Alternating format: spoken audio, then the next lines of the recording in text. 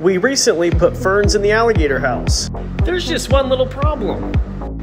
Chompers is blocking my way to go water them. Chompers, I hate to bother you, but I honestly have to water these ferns. Can you just walk over there? Thank you. Problem solved.